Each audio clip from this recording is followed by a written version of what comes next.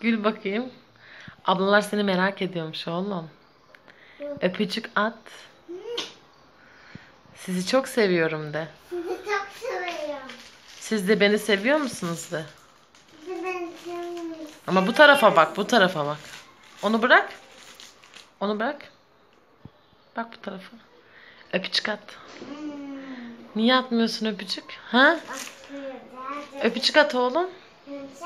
Sizi çok seviyorum de. İyi kapatıyorum ben başka çocukları çekeyim. Öpücük var. At öpücük. Sizi çok seviyorum de. Sizi çok seviyorum. Onlar da seni çok seviyorlarmış. Bir de şu saçlarını kestirirsen daha çok tatlı olacaksın ama benim kızlar saçlarını kestirmiyor için Arzu. Korkuyor. Böyle geziyor uzun uzun. Hadi bay bay de. Bye bye.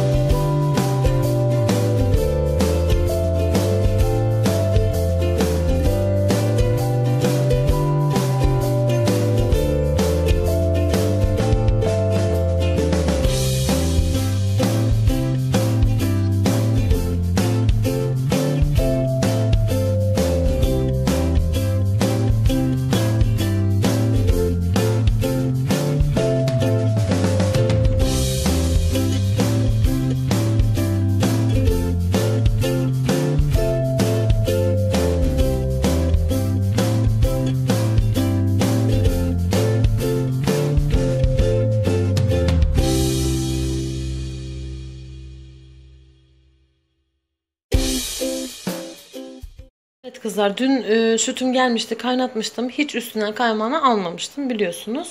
E, şu şekilde benim patlıcan közleme e, süzgeç tarzında böyle aralıklı bir aletim var işte. Onu ben böyle sütümün üstünde kapatıyorum. Bir gece balkonda serin bir yerde bekletiyorum kızlar. Bakın şimdi hal yani şu durumda. Sütüne göre kaymak durumu değişebiliyor kızlar. Şöyle söyleyeyim. Bunu ben istesem bir gün daha bekletebilirim. Bir gece daha daha güzel kaymağı olur. Ama yoğurdumuz da olmadığı için eee, acele etmek zorundayım. O yüzden şimdi kaymağını alacağım. Bir saniye. Evet kızlar. Şu gördüğünüz aletle üzerindeki kaymağı aldım. Çok basit bir şekilde hemen alabiliyorsunuz zaten. Ee, dediğim gibi sütüne göre kaymağı değişiyor kızlar. Bazı sütün e, kaymağı daha fazla çıkıyor. Bazı sütün kaymağı daha az çıkıyor. Bu bizim için az öyle söyleyeyim. Şöyle. Bu biz için bizim için az bir kaymak. Çünkü daha önceki sütlerimizden daha fazla çıkıyordu. Ee, bir şey anlatıyorum oğlum. Şöyle söyleyeyim kızlar. eee, biz mesela İzmit'te otururken orada Kandıra cezaevi lojmanlarındayken oradan Kandıra'nın sütünden alıyorduk kızlar. Kandıra köyünden süt geliyordu. İnanır mısınız? Muhteşem. Yani şu ağzına kadar kaymak doluyordu. Bildiğiniz eee, şey kaymağı gibi ya. Ne hmm, ne kaymağı derler kız? Bilemedim. Her neyse siz anladınız. İşte bayağı güzel kaymak çıkıyordu. 2-3 gün falan anca yiyorduk. Ee, ama buraya Balıkesir Burhaniye geldikten sonra Burhaniye'nin köyünden süt almaya başladık. O da yine idare ederdi ama şu anki sütümüzden pek memnun değiliz. Yalan söyleyemem. Sütten memnunum ama kaymandan çok memnun değilim kızlar. Öyle bunu şimdi kapatacağım ağzına. Ben işte bu tür şeyler için çok seviyorum saklama kaplarını. Ve buzdolabıma koyacağım. Şuraya mı koysak? Şuraya koyalım. Bakın benim burada hep böyle saklama kaplarım. Hep böyle her şeyim saklama kabında kızlar. Hatta şöyle göstereyim. Bu da benim yeşillik için marul için saklama kapım. Kilitli kapaklı. Marullarımı yıkıyorum tertemiz. Sularını süzüyorum. Ondan sonra arasına şöyle peçete koyarak marullarımı koyuyorum. Hem uzun süreli dayanıyor. Hem de anneciğim bir saniye Çınar'cığım. Hem de e, daha temiz muhafaza ediyor. Anneciğim çıkar mısın bebeğim? Tamam veririm annem dur. Öyle yani kızlar. Şimdi ne yapacağım? Sütümü kaynatacağım. Biraz ısınacak. Yani şu küçük serçe parmağınızı yakacak şekilde kızlar. E, Böyle değdirip çekerseniz anlarsınız zaten. Ondan sonra bir güzel yoğurdumu çalacağım ben. Dünden kalma e, çalmalık yoğurt ayırmıştım. O nerede? Bir saniye. Onu da çıkarayım. Ilısın biraz. Bakalım. İşte mayam yok. Kayınvalidemlere gittiğim için kendi mayam kalmadı. Onlardan da almayı unuttum. Gelirken bu yoğurdu kullanmak zorundayım. Yapacak bir şey yok. Kızlar balkonumun son halini göstereyim dedim. Şöyle halımı serdim. Bu arada ben balkonumu gelince temizlemiştim kızlar ama e, dediğim gibi çiçek ay, çiçek diyorum işte. Çiçek gerçi de fide almıştım. Onların topraklarını falan değiştirdim. Soğanları falan kurumuş. Onları çıkarttım. Sarımsakları çıkarttım. Onları attım. Toprağı temizledim. Kullanabileceğim kadarına çiçek ektim. E, öyle. Her yer tabii perişan oldu yine. Şu tülleri de yıkamayı düşünüyorum dediğim gibi ama şu an düşünmüyorum yani. Şöyle halımı serdim kızlar. Ben böyle güneş vurmasın diye çekiyorum. Ama çok tatlı olmamışlar mı ya? İnşallah tutarlar. Böyle çekiyorum kızlar. Hem otururken de daha rahat oluyor biliyor musunuz? Böyle masam yine aynı yerinde. Hiçbir şekilde oynatmadım. İn rüzgar. Şu masa örtüme falan çamaşır suyuyla sildim kızlar. Çamaşır suyuyla sildiğim için şu kırmızı eee, baykuşlar oldu. Eee, Krem turuncu. Allah'tan mavileri gitmedi. Böyle bu şekilde masamda koydum. Çiçeğimin çok güzel vazosu vardı. Cam kocaman. Diğer videolarımda hep görmüşsünüzdür. Kırılmış arkadaşlar. Rüzgardan uçmuş kırılmış. Ben de mecburen kavanoz koymak zorunda kaldım. Yani şöyle bu tarafta zaten uzun tarafı balkonun. Dar ve uzun tarafı. Burada kullanmadığım saksılar var. Ama domates alıp ekmeyi düşünüyorum şu yerdeki büyüye. Şurada uzun var yine bir tane. Ona da ne ekerim bilmiyorum. Burada oğlumun sanıcağı var. Burada da kullanılmayan büyük çöp kovam var. Daha doğrusu kullanıyorum. Ee, özel şeyleri atıyorum. Böyle normal çöpe karışmayacak şeyleri atıyorum. Yani şu anlık bir sıkıntı yok kızlar. Burası bu arada salonuma geçiş ama ben kullanmıyorum. İptal ettim bu kapıyı. Şu anlık bir sıkıntı yok. Ee, bu halini beğendim. E, Beğenmekten ziyade ya hani kullandıkça bakacağım bakalım ee, nasıl olacak temizliği falan. Ee, çok da masanın altına da gelmedi. Masa yine aynı yerinde çünkü kıpırdatmadım. Çok az bir kısmı geldi. Temizleyeceğim zaman e, uzun bir süre diyorum.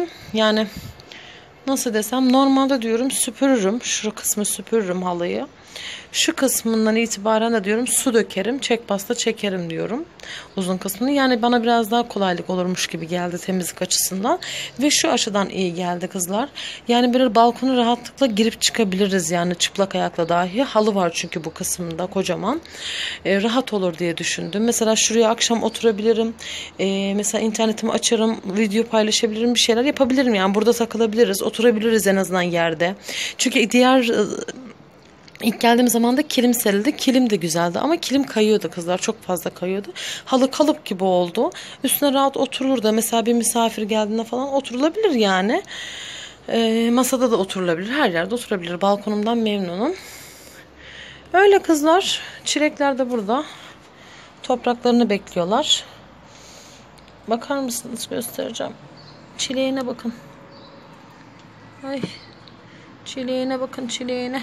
Oy canlar canlar.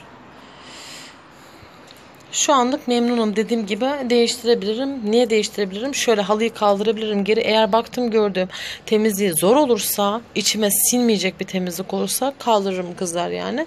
Ama şimdilik gözüme çok hoş göründü. Çünkü tertemiz şu an. Öyle.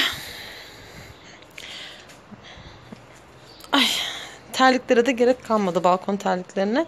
Balkon terliklerini de şuraya atayım. Çünkü burası çıplak. Şöyle dursun değil mi? Bu tarafa geçeceğim zaman ayağıma takıp geçerim. Ay temizliğin gözünü seveyim kız. Siz benim bugün hiç yüzümü görmediniz sanırım. Hemen göstereyim.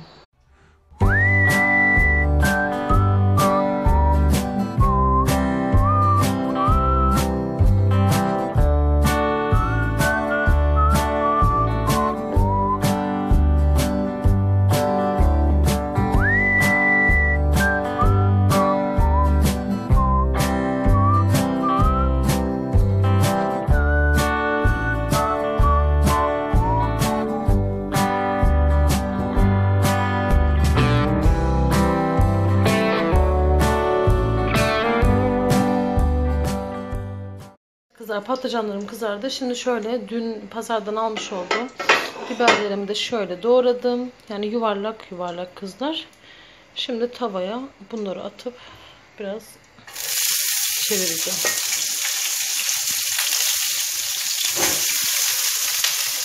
Yanıyorum.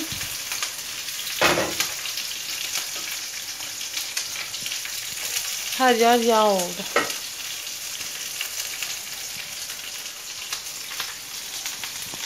Kızar patlıcan yemeğim pişti. Şöyle göstereyim. Şu şekilde. Mis gibi biberli. Sarımsak, yeşil sarımsak doğradım kızlar. En son indireceğime yakında iki demet yeşil sarımsak doğradım içine. Çok güzel oldu. Yemeğim hazır.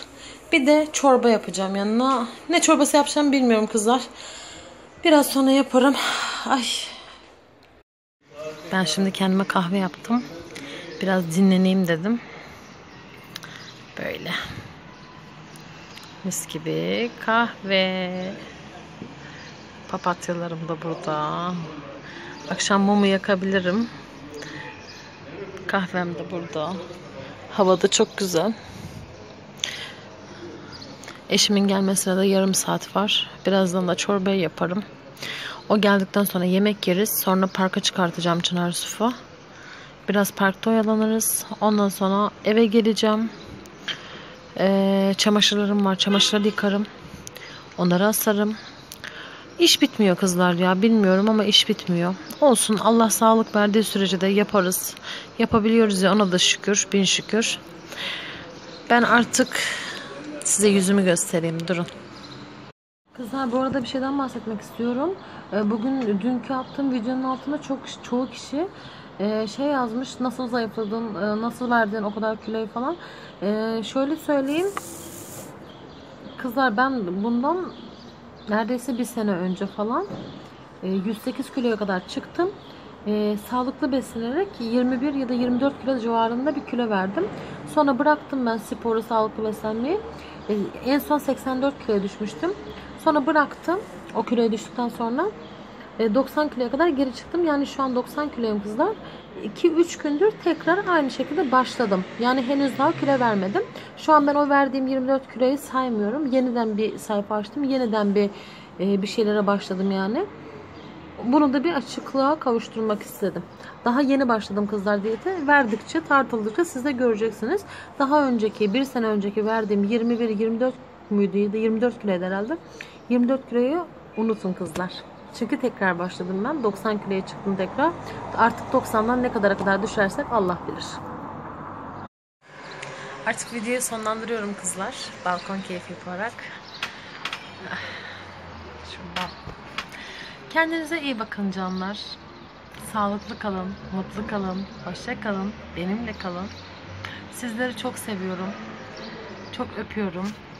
Buradan kocaman kocaman. Eğer videoma yeni rastladıysanız beğen tuşuna basmayı ve abone olmayı sakın ha unutmayın. Eğer yapmazsanız videolarımın devamını izleyemezsiniz. Çünkü abone olursanız zırr zil çalar ben video attığımda. Her gün kızlar günlük vlog çekiyorum. Bu arada erkek izleyiciler de var. e, aboneler de var. Hep ben kızlar diye konuşuyorum ama kusura bakmayın ağız alışkanlığı. E, onlara da selamlar buradan. Kendinize iyi bakın.